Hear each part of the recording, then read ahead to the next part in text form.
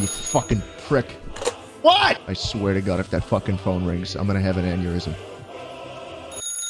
Fuck! What?